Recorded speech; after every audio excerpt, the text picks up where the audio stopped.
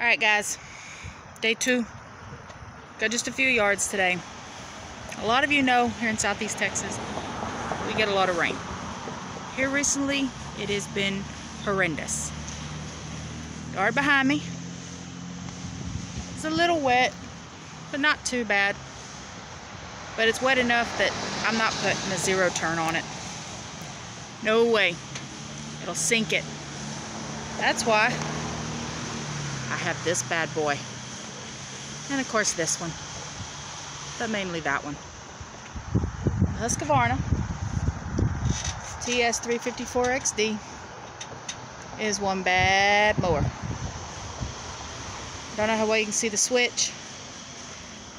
There's a switch on the console for wet ground. Once I flip that switch, both tires lock in. Almost makes it four-wheel drive. It's rear end locking differential. Oh, excuse the sweat. It's a little warm.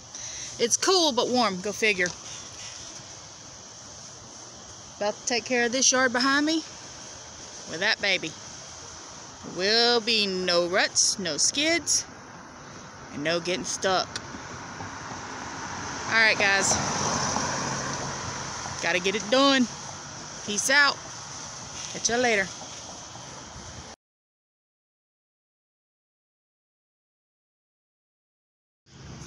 Alright guys, it's hot. Southeast Texas is hot. Been at work since about 8 this morning. I'm already soaked. I've downed probably dang near 160, 170 ounces of water. I want to stress how important it is to stay hydrated. See this? Fill them up.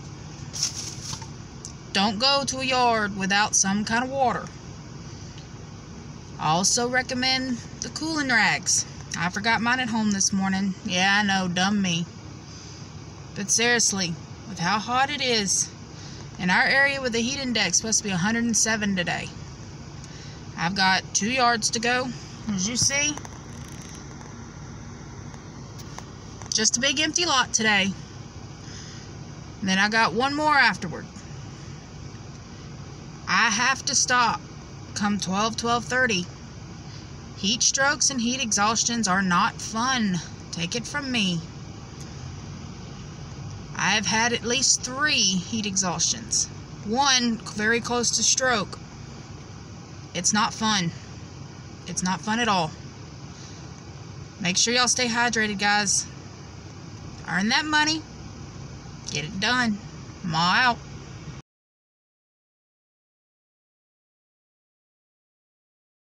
What are those behind you? We got some bricks, Hmm, Why are we holding on to those?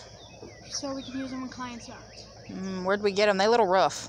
We got them from a demolish, demolish house. Demolished house? Yeah. Well, why are we keeping them? We're keeping them to make the uh, uh, client's house look pretty. Ah. Do you have an example of that maybe? Yes. For the 90s kids, this means reduce, reuse, recycle. Ah, so this is the example. Can you explain what we've done here? Well, first we got to make sure that the bricks are lined up together. Mm-hmm. And um, before we did that, we also got to um, get rid of the excess that's inside of it from the old house. Mortar. It's also known as mortar. Mhm. Well, it probably wondering why we would do this Mm-hmm. is to make people on a low budget a pretty house or something stylish for like company. And you're able to recycle materials, right? I mean, this right here come from an old house. It was slated for dem- demolition. It was going to be carted off to a landfill. All that stuff was literally fixed to be thrown away. Why not recycle it? We sit there, we took the mortar off of it, put it out front, and you have something nice and it's cheap. You're able to source your own materials for pennies on the dollar rather than having to go out and buy brand new stuff. And at the end of the day, you're you can feel good about saving the environment because you're recycling. So pretty much it's to help those on a budget then. Yes, ma'am. Anybody that's on a budget, or if you're just a starting out landscaping and you don't have money for the materials, find a place that's fixing to be demolished. Get with a construction crew. They actually might work out a deal with you where you can actually haul off a good carload, a trunk load of bricks if you need to. Bring them and bang off the excess mortar, clean them up, and then you can offer. Here you go. See that? See how the size of that? Back out a little bit. Look at the size of the ring around that. All them bricks is going to cost you probably uh, probably about eighty dollars if you were to go down to the Home Depot and buy that. You just pick them up for free. So there's eighty bucks right off the top. So you could charge the customer forty dollars for materials because you got the materials for free, and then like another forty for installing it. Eighty dollars in your pocket for free materials. How can you beat that?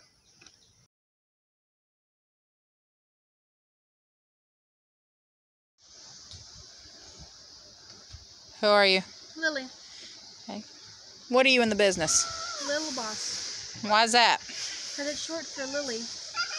And? I'm going to be the future boss. Gotcha. Well, what we reviewing today? Well, we're reviewing the jerk cans. Mm-hmm. We have the little one as the two cycle throw. hmm What is that used for? This one's for the weed eaters Mm-hmm. and the backpack blower. Gotcha. Then we have the regular fill. Okay. That goes for the mowers. Okay. You're probably wondering what's with the weird setup here. Yes. Explain to me. Well, what's so what's so great about these? Well, you have to take this off, Mm-hmm. lean it down like that, and then you press this button, you hold it back, and you push this down. Okay. It lets the gas out. Well, first you gotta take the lid off, but it lets, it lets the gas out. Okay. It also controls the f- flow Mm-hmm. of the gas. Okay. And it also helps with if you have back problems. Mm-hmm. It helps with um, not having to lean over all the time. It just like that. Gotcha. Well, what do you think of them so far since you've used them? Eh, it's not hurt. My back doesn't hurt every day. do you prefer these or over the old style? These Hmm. Where did we get these? Do you remember? GIE from 2017 and 2018. Gotcha. So if you had the choice between these and going back to the regular, what do you think? Well, you heard it. I got something to add. I got something to add. Hot gas cans. You got them filled up. They get hot. They expand. They look like a puffer fish. All right. Puffer fish, be gone. See here? Drill a small hole in the top. That alleviates it. It allows it to actually breathe. Both of them got it in it. No more puffer fish gas cans.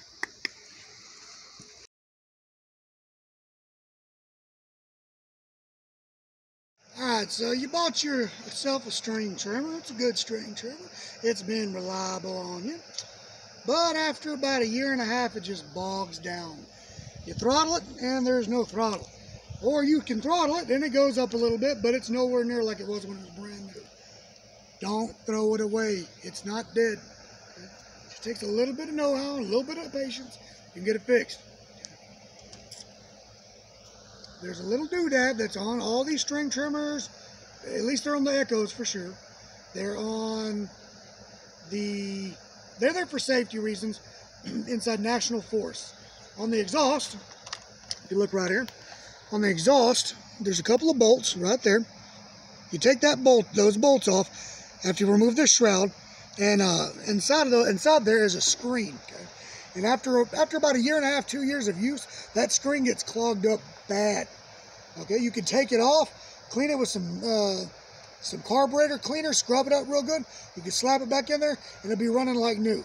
Now, where I live at, I live in a very wet climate. It don't get dry enough to have to worry about these things. They're on there for us. Say you're inside of a national forest and it uh, it rains so much. No, it, I mean it's dry. It's so dry you're operating that just a little bit of tiny spark can ignite a massive fire. Out where we live at, it rains so much that you never have to worry about it. When I discovered that screen, I removed it. I made this old Echo T65T. I think this thing's about 10 years old right here. Whenever I first got it, I, this was like one I bought from a pawn shop. The guy, he didn't know what was wrong with it. Couldn't get it to go full throttle. I was like, man, that's awful. It's a junk. It's junk. Hey, uh, uh, uh, will you take 50 bucks for it? You know what? Since I don't know what's wrong with it, short. Brought it home, removed the screen, and watch what this bad boy does now. This is actually a little bit stronger than the 266s that you buy at Home Depot now for 50 bucks from a pawn shop.